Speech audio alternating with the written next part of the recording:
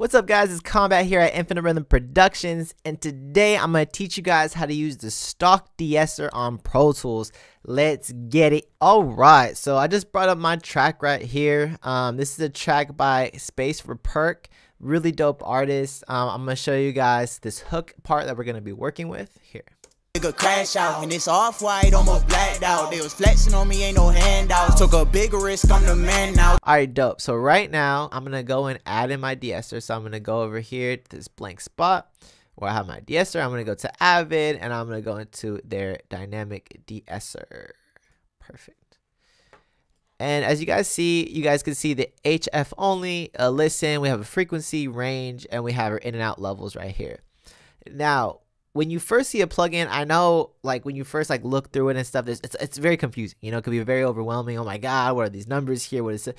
But you just have to like break it into sections. I feel like that's the best way to look at any new plugin, any plugin you look at. Just break it up into sections, see what each thing does, and when you kind of understand it a little better, it's not going to be as overwhelming or as confusing. You know what I'm saying?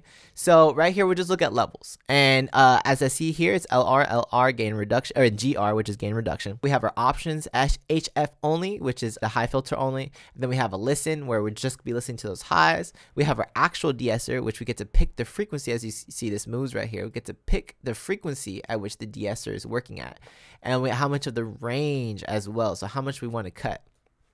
So what's pretty important about this is if you're not hitting the HF only feature, what's going to happen is when you lower out your DSs, uh, your DSs, when you lower out your S's, uh, it's going to do the whole thing as a whole, as you guys see here. But if we do the HF only, it's only going to cut out that that high part. You know what I'm saying? So you're not going to deal with all your track getting all this cut out. You know what I'm saying? It's just, it's just bad. So I want to explain what a de-esser is. And uh, a de-esser pretty much helps cut out your S's. So for example, if I'm talking like that, that whole sound, like if I say sports or whatever, that, that S sound, that's what this is going to help cut out because a lot of the time when we have our EQs or whatever and we're trying to cut out the S using an EQ or even a multi-band compressor, sometimes it, it just the, the vocal comes out or the, the S comes out so much to where it, it kind of messes with your high frequency balance or it just it ends up leaving you with a lisp, you know, and you don't want that. So that's what a de-esser is for, and I'm gonna show you guys how I use it right now.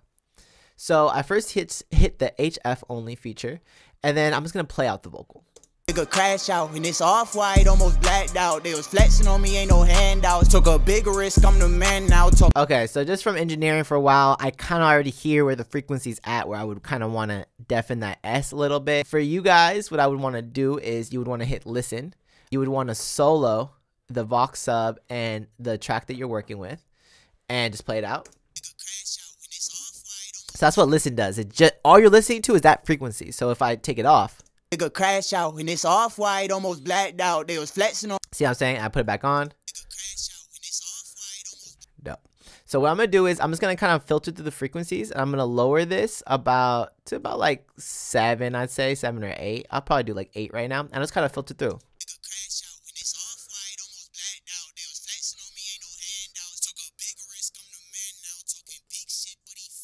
So you guys can see how much of the gain reduction was actually happening there. Um, I'll kind of mess with the range just so you guys can hear it.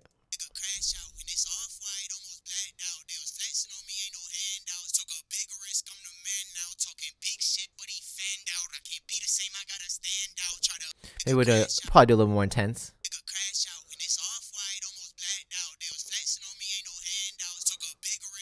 So I feel like my frequency range is around there, like around 7 kilohertz. So I'm just going to take off the listen. I'm just going to hear it. Nigga crash out and it's off white, almost blacked out. Can we bypass that?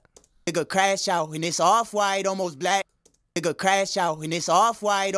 So it is taking out the S, but you guys probably hear it's taking out a little too much, almost to where it has a lisp.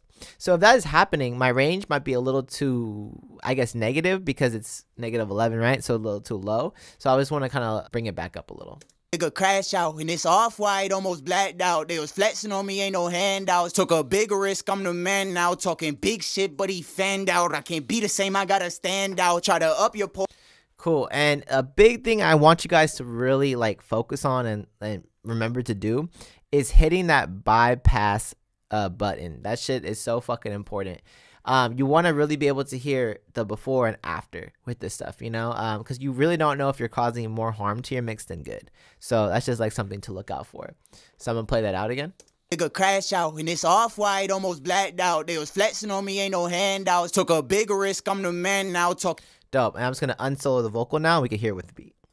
Nigga crash out and it's off white, almost blacked out. They was flexing on me, ain't Bypass. no handouts. Took a big risk, I'm the man now. Talking big with shit, it. but he fanned out. I can't be the same, I gotta stand out. Try. So now the vocal it's not so pitchy and hissy and all that stuff anymore. Now it has like a nice little like more contained high end, especially with the S's.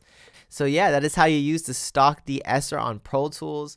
Um, if you guys have any questions, feel f- free to like comment and DM me on Instagram. Uh, I'm at K O M B A T underscore K. You guys could also uh, like, subscribe, share this video as well. It helps me out a lot and uh, just helps me putting out all this content for you guys. Just want to give as much game as I can.